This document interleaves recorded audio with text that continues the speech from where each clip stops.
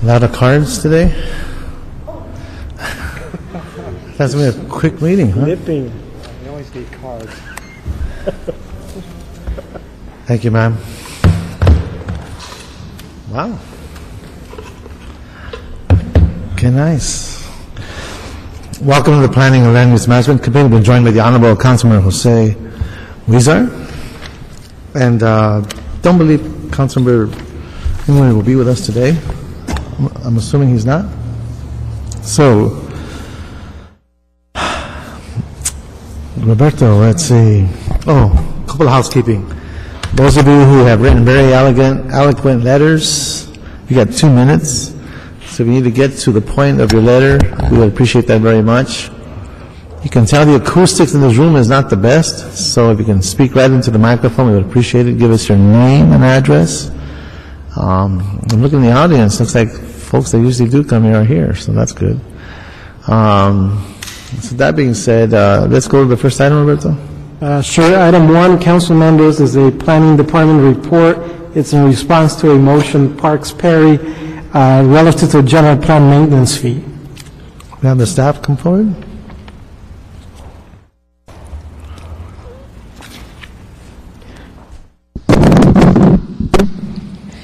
Good afternoon, council members. I'm Eva Yuan McDaniel with the uh, Planning Department. This item is to instruct the department to report back on the general plan maintenance fee um, and also um, the impact of the fee on the new community plan program. The Planning Department cu- currently collects a 3% general plan maintenance fee on the planning cases and some building permits, and the annual revenue from this fee is about 100 point, um, I'm sorry, 1.6 million a year, and that is used to supplement the funding needs for the community plan work program. And of the 1.6 million, uh, about half of it goes to pay for indirect, and about half, the second half, is to pay for salaries in the planning department. With the so the amount that comes to the planning department is about 960,000 based on the current revenue level. And the 960,000 right now funds about um, 10 planner positions at various levels and two technical support positions. One is a GIS position and a graphic designer position, which are critical to the ongoing development and the finalization of the community plans.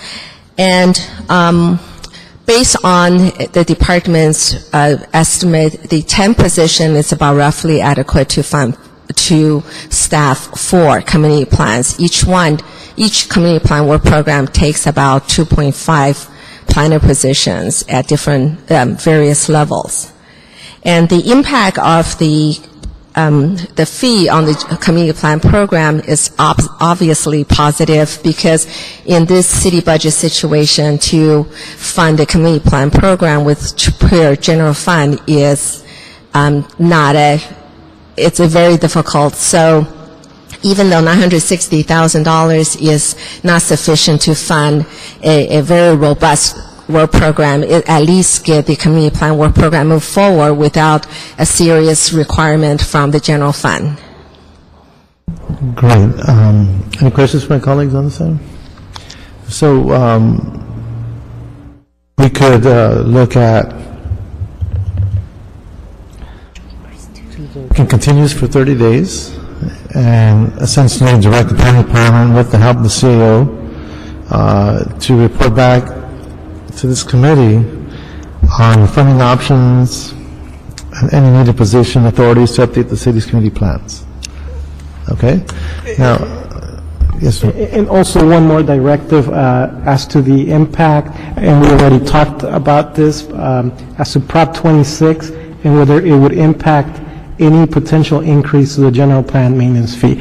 And the planning department can include that in the report back. Yes, we will address that in our report. Okay, just, but just for the record, Yeah, for to the understand how we are responding to or what our status is with Prop 26. Correct. Okay. Um, I know there's a lot more to say about this, but I'll wait till you come back. Yes, we'll be All right. back in 30 days. Okay, great. Thank you very much. Thank you. Okay, item two, Roberto? Uh, Yes, item two, council members, is a Cultural Heritage Commission uh, report. uh, providing comments relative to uh, a potential historic cultural uh, monument at the California State, uh, excuse me, at the California Aerospace Museum. So, so my understanding is that uh, one of the parties is not here, and another party is. Can you explain to me what's going on right now? Good afternoon, committee members. Lambert Giesinger with the Planning Department. The item before you is comments, uh, recommendation from the Cultural Heritage Commission that the city make comments to the State Office of Historic Preservation relative to a nomination that's been submitted to include the Science Center as a California Register monument. And the applicant is here today to speak, but I know there's maybe been a request to continue this item so that representatives from the museum could be here. I don't have a card for a speaker, but if they would like to speak at this time, I'd be more than happy to welcome them. Otherwise, we can continue it one week, but out of courtesy to them that they made the trip out here, it's up to them. I think, I think she'd just as soon have the item heard all at once, so. if Okay, it's so I wait for one week? Yes, ma'am? Okay, so I want to make sure we respect the fact that you're here, and it's no fault of yours, they're not here, so I want to make sure I honor the fact that you made the trip, so, okay, we'll continue this for one week. All right, thank you. Next item? Um, Item three is a motion of Huizar Wesson um, relative to a request for two city planning associates to work on the Boyle Heights Community Plan. Can we take three and four together? Uh, Sure, item four is a planning department report which provided an update uh, as to the Boyle Heights Community Plan. Okay, good day, sir. Good afternoon, Mr. Chair. Uh, Councilman Huizar. Um, Roy Morales with the CLA's office. Uh, Last week, you considered this motion by Councilman Huizar to create, to uh, fund two positions to reactivate the Boyle Heights Community Plan. There were some questions raised in committee. Uh, My apologies for not being here to answer those questions. Your two basic questions were the funding status of these two positions and the process for getting them filled. First, the funding status. Uh, very straightforward. We uh, met with Councilman Huizar. He expressed what a priority this is for his office, and he asked us to dig, to take a look at this and try and piece together a package. We looked at what the work was that was remaining. We found that the transportation component of the Boyle Heights Community Plan may be eligible for Measure R funding, so we checked with um, the folks who administer Measure R. That component is eligible for Measure R funding. Currently, there is about 104,000 set aside for the transportation component of uh, Boyle Heights. That is general fund money. So paying for that with Measure R frees up approximately uh, half of the amount needed for the two positions. The two positions, the total roughly for a full year is about 220,000, give or take. Now, we're a little further into the fiscal year, so it'll be less. The second, second position that is requested, as, as when this was discussed in Budget and Finance Committee, they were well aware of the, the, the strong demand for general fund and, and uh, the difficulties we were having. At the same time, however, the council was considering the Hollywood Community Plan. That community plan has now been adopted by council. There's still, in my understanding, some work to be done.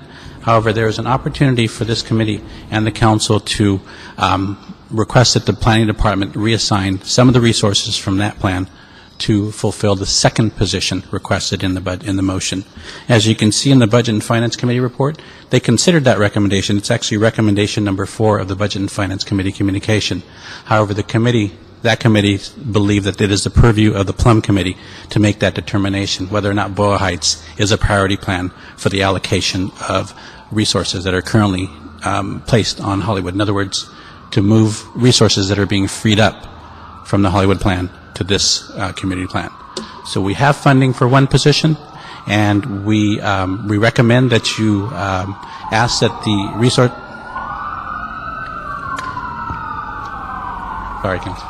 We recommend that you uh, ask that the planning department assign resources from the Hollywood Community Plan to as the second position. Okay. Ma'am?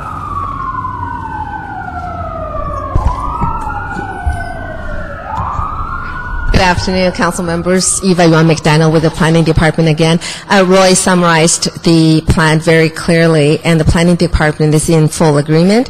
As soon as we finish up the, some of the uh, remaining items on the Hollywood Community Plan, and um, get our counter people trained on the implementation of the plan, we should be able to reallocate that position to the Boyle Heights uh, community plan. And uh, that work, we think, should wrap up within the next month and a half. So if we, um, this motion, that this um, proposal is approved by council, and we will still have to go to the managed hiring committee for, to unfreeze one position using the $104,000 fund. And altogether, if everything goes um, smoothly, we should be able to pay, do the community plan for the Boyle Heights on January, uh, I'm, I'm sorry, October 1st. Okay. And I hope that is satisfactory to everyone. Okay. So the um, Measure R resources are factored in here, or they're not?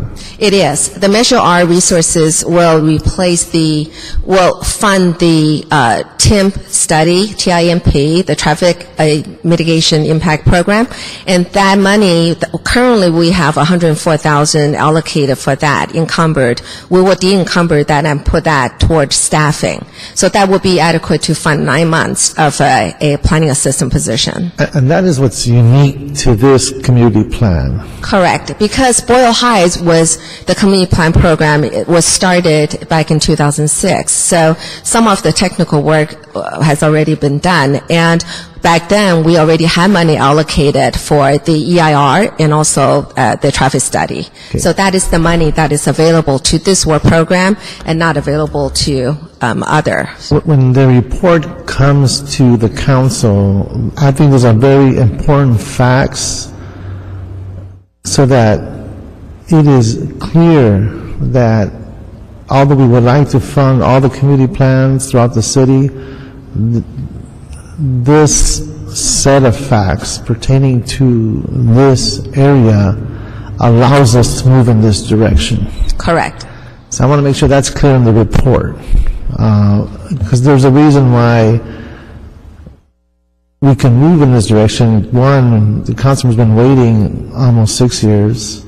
Two, there is Measure R monies that will offset a cost, and we can shift monies for that position to complete as much as you can with the time allotted.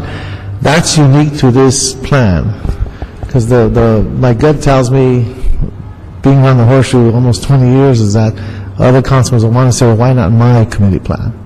So I need to be very clear how we got here and understand the value of the planning department's role in community plans, but we need to find funding for it And and also the EIR, the work on the EIR. and the work on the IR. So these are very distinct, unique characteristics of this geographic area in the city that allows us to move in this direction. And I just want to make sure that my colleagues are under- are understanding that, Correct. and it's not anything else. One thing to add, over the past two years, the councilman secured in our budget, making sure we retain the funding he had gotten us years ago for Boyle Heights, which is $240,000 in contractual services, has been preserved even through these tough budget times in order to restart this plan. Okay. So it definitely has, I would say, 30 to 40 percent complete compared to the plans that were stopped and started in years past due to funding resources. This one is the most ripe to restart, which is why the small infusion of money and the way we preserved the money in years past with the councilman's help, allowing us to move forward today. So those are salient facts that should be in the report. That's all I'm Correct. asking. Hope you We'll can make sure it's highlight clear. that. Councilman? Thank you, uh, Mr. Chair, and and thanks everybody who came up with this creative solution. Um, It is the, from the planning department's perspective, the Boyle Heights plan is next in line, right, because of the factors that we outlined, and and we have data that may go sour, and we don't want to pay for that same information again, so it's cost-effective to make Boyle the Boyle Heights plan the priority amongst the other reasons that we stated. Um, And I think Mr. Councilman Reyes is correct in that, uh, should we move in that direction from committee, by the time this gets to council, that should be outlined in some report, so that it's clear as to why we're heading in that direction. And um, I I agree with that. Uh, My question is, um, when this money runs out, what then, and how long will it take to actually see this community plan through? And It seems like this process is going to be longer than the funds that are available, so what do we do at that point in nine months from now? Councilman, two, earlier I indicated um, when we were talking about, uh, discussing item number one, is it takes about two and a half positions to fully fund a, fund a community plan or program. In this case, we will have two positions, and So that's an advantage already because of the seven that we're currently working on, they all have only one planner position working on them. That's why it's taking so long. And not only that, um, as we move forward in this fiscal year, um, more community plans will come to, uh, will go to City Planning Commission and then come to council for adoption. As those community plans start to uh, wrap up, we will have more position available. So we have one very important task that we need to do um, right away. That is to assess the work that we have already done in the in the Boyle Heights community, the EIR work that we have performed, the TIMP, some of the TIMP work we have already done. We need to assess that, and the community engagement that um, a focus group meetings material we need to we need to do, and we need to as soon as we kick off, hopefully October 1st the first thing we will do is to assess what we have, where we stand today, and then we will come back to um, the Boyle Heights, uh, Council District 14, and the community to let you know our assessment of the schedule. Okay, thank you. Well, Chairman, um, I'd like to then move that we adopt the Budget and Finance recommendations and amend them to endorse the Boyle Heights Community Plan as a priority for the additional community planner resources within the Planning Department, and ask that the Planning Department provide an explanation um, as to the reasoning behind this for the City Council meeting. And I think if we do that, we could uh, note and file um, number four and and move item number three to full council with that amendment. Okay, that's, that will be the action of this committee? Okay, and there are no cars on this item either, so, thank you Thank very you, much. council members. Thank you, ma'am. Thank you very much. Thanks, everybody who worked on this. Appreciate it. All right. Roberto, next item? Next item, council members, is a building and safety uh, report um, dealing with uh, the issue of um, of signage, on-site signage in the city. Good day, sir. Good afternoon, uh, honorable coun- council members. A little bit louder, David. Oh, thank you. Uh, Dave Lara with Building and Safety. Um, We have a report in front of you that uh, we have actually recommended a a receive and file on. Um, However, um, we understand that there is a uh, possible need to to look at, in a future sense, what kind of funding could be available for such programs. So uh, with that, if, uh, if there is a recommendation from this committee, uh, we'd be willing to uh, go along with that recommendation as far as uh, instruction on how to, how to proceed. Okay. Given the, uh, the challenge that is in front of us with the issues that arise with this kind of, with this direction that we could take, I think it behooves us to have the CAO along with your department to prepare uh, an analysis of what it would cost to carry X positions to implement this. Um, I want to take this one step at a time because it is a uh, overwhelming uh, scenario when you look at the notion of identification and enforcement of these types of regulations. So incrementally, let's not chew off too much. Uh, Let's just start one step at a time. So we'll begin with this step, and uh, if you can give us a status in 45 days, uh, if we can't get to a complete picture, we understand, tell us how much time you need, but at least we can see some traction. Could we uh, possibly ask for at least 60 days? We're still, we're going to be working on some budgetary issues at this time, and the staff that we have working on that, uh, the additional time would, would help us out immensely. I feel like I'm negotiating for a car here. It's like, uh, meet me halfway. You're asking for 60 days? Um, Okay, it- it's the... Uh, 60 days is fine. committee, That's fine. 45 days, All right, Dave. okay? That- That's, give us the status, and we'll go from there. Okay. Okay? And uh, anything else we need to do with the item, Roberto? You might want to receive and file the 2010 report, uh, since there's an updated 2012 report on file. Okay, then we'll do that. Thank you, sir. Thank you. Thank you very much. All right. Next item, Roberto? Um, The next item, council members, is a planning commission uh, report. It's relative to a development agreement uh, between Forest Lawn and the city of LA. Okay, we have staff come on up. Good afternoon. Good afternoon. Uh, Blake Lamb with the Planning Department. The Forest Lawn Expansion Project was approved by the City Planning Commission on May 9th, 2012. And what's before you today is only the development agreement, um, the consideration of the development agreement, which the City Planning Commission recommended be approved with certain public benefits and for a term of 40 years. So the request today is to request this committee direct the city clerk to prepare a letter requesting the city attorney's office to begin work on the ordinance and the development agreement for your future review and approval. Okay, and are you familiar, familiar with the amendments that's being contemplated by the council office? Um, no, I'm not. Okay, then you've gotta stay tuned, because it's gonna come. All right. Ms. Weitzer, come on up. You mean you didn't tell her beforehand? Renee, Renee. Uh, I think she actually knew about it because we discussed it after the commission hearing. For the record, Renee Weitzer, representing Councilman Tom LaBonge. I'm going to be very brief. Councilman LaBonge strongly supports the master plan as well as development agreement for Forest Lawn.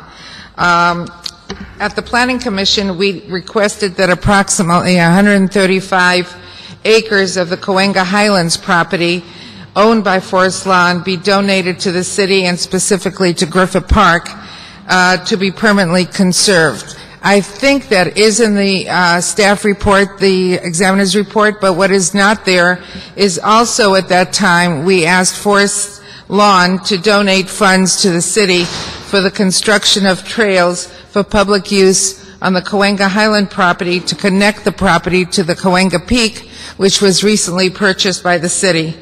Forest Lawn has agreed to donate $75,000 for the construction of trails, and we're very extremely pleased with that, and we support the development agreement and the master plan.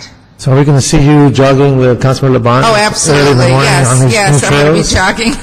Okay. Hiking. Hiking, all right. I know that's a morning ritual for him, so, I don't know if I'm in that kind of shape. all right. Well, thank you for your input. Thank you very much. Okay.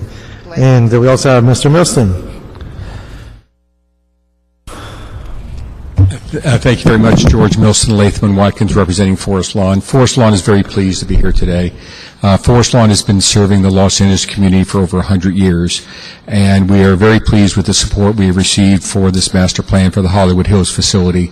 Uh, We received support from hundreds of community leaders, uh, the unanimous endorsement from the Hollywood Hills West Neighborhood Council, FOLAR also supports it, Northwest Trees, Northeast Trees, and many other community organizations. We support the recommendations of the staff and of the council office with respect to the dedication of the additional 135 acres and the $75,000 uh, for the construction of a new trail within the Cahuenga Highlands property. Uh, We request your approval of the development agreement, and thank you very much for your consideration. Just for the sake of uh, clarity, these trails will be at the periphery of the property, or they can go through the property? How how would it be? Um, There is a, I'll be happy to show you a map, but there's a trail that's been plotted out by Forest Lawn uh, that comes through the center of the property and actually connects to a DWP uh, access road. Okay. And it will allow people to use the DWP access road as well as to come up to Cahuenga Peak, which was just acquired by Griffith Park and the city. Okay, great. Okay. All right. Any questions, Councilman? All right. Thank you very much, sir. Okay, good work. Thank you. Staff, go ahead. Now that you reviewed the amendments, are you okay with them? Um, Well, actually, this item was um, reviewed by the City Planning Commission. The details of it in terms of the timing of when it would be conveyed to the city, as well as the $75,000 donation, um, was something that was discussed at the Planning Commission. So obviously, um, in the few minutes I had to review this, um, this is in line with what the CPC did approve. And Fantastic. I would recommend it also be included. I just want to make sure we're all on the same page. Yes, we are. Thanks. So, great. So, as a committee, we would uh, approve the development agreement as amended?